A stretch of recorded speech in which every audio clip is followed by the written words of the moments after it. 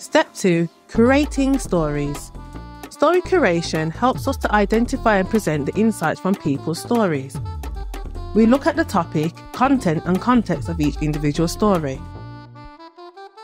We explore what people are talking about, their thoughts and feelings about the subject, and their reasons behind this. This helps us to produce a set of findings.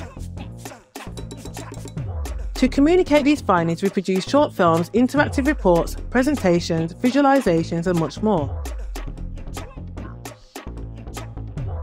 We share these to inform and influence research findings, policy, and services.